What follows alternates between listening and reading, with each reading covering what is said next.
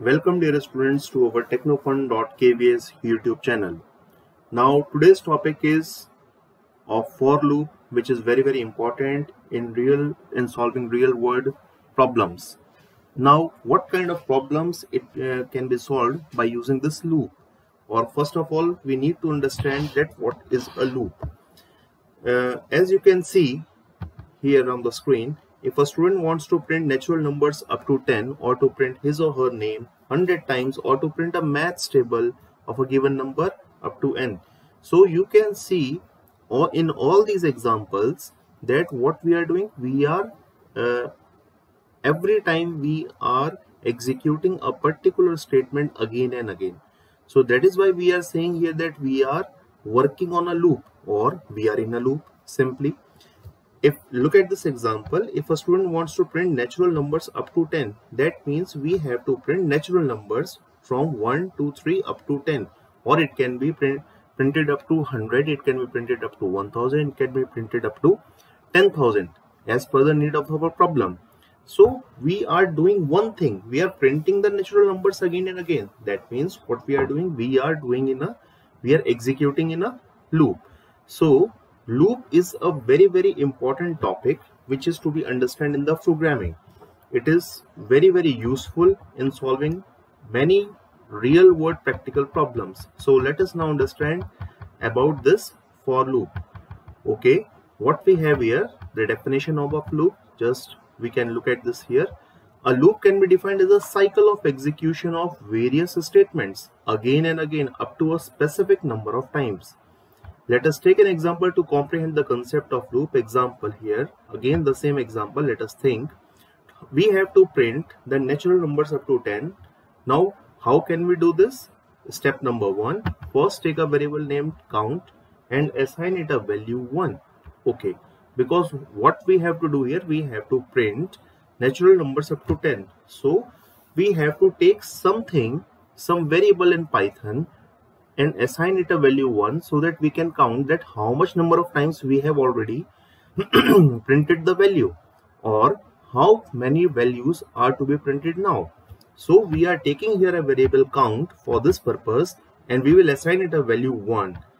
Then firstly we will print that value count because the initial value of the count variable is 1 we will print the value 1. Okay. In the third step we will increase the value of the count by 1. So count becomes 2 now what will happen? Check the value of count whether it is less than or equal to 10 because the value of count becomes 2 now to print or to increase the value of count further. We have to check whether the upper limit or the number up to which we have to print the values the value of count has been come or not. So the value of count is less than or equal to 10 or not. We have to check first this so if the value now uh, if the value is 2 we have to move further. If it is less than or equal to 10 then execute the step b c and d again. Till the value of the count reaches 10 we can understand this thing more clearly by using a flowchart. As we already know that flowchart is a pictorial representation of the execution of our statements. Now just see here we have the start button. Start. We have taken initialize the value 1 of a count variable.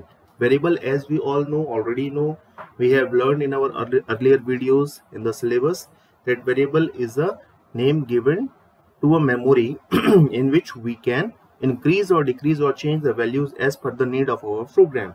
So here we are taking the value of count initially 1 we have printed one print count we got 1 then we will we are checking the value of the count is less than equals to 10 or not. See here it is a diamond box. If it is yes if the condition is true then what we will do? Then if count is less than equal to 10 if it is yes then we will execute the statements because the value of the count is less than 10 it will again print the value of count 2 if it is also less uh, less than 10 value then we will print again the value of value of count 3 4 5 6 7 8 9 10 just you can see we are forming a loop here. We are printing the values again and again. So as soon as the value of count becomes more than 10 it will get stopped. Okay? I think you have got the point of the loop. Now move ahead with the specific for loop. In python for loop is a very very important topic. So let us now discuss this. For loop is a type of looping statement or construct which is used to execute some commands again and again as the property of a loop up to a specific number of times. Yes, it is to be mentioned always that how many times the loop to be executed. Its syntax in Python is given below. Now just look at the syntax.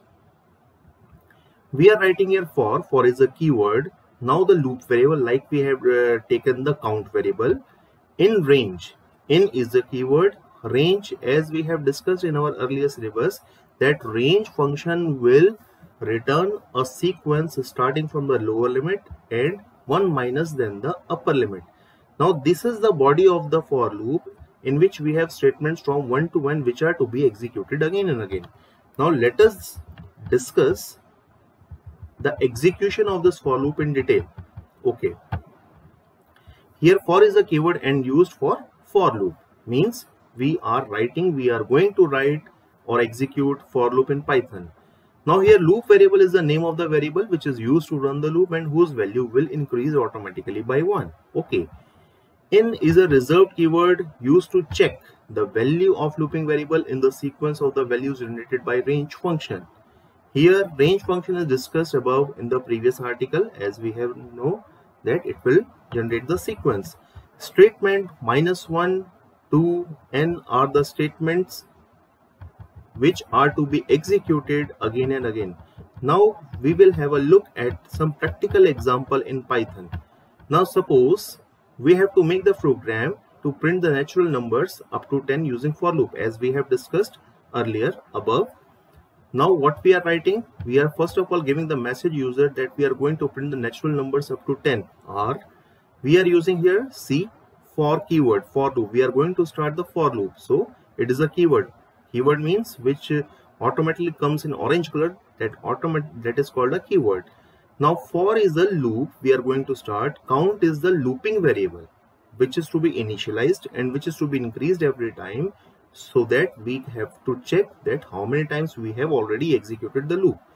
In is also a keyword which will look at some particular number in a range of values which is given by the range function as you can see here range 1 comma 11 so range 1 comma 11 will give as you know the sequence from starting from the lower limit 1 up to 1 less than the upper limit 11 means 10 from 1 to 10 and we will print the value count.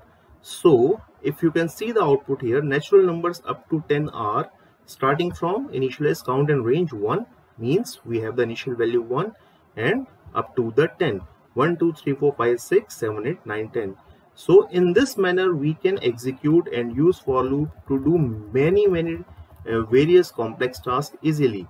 So look at this here. We have taken count as the looping variable.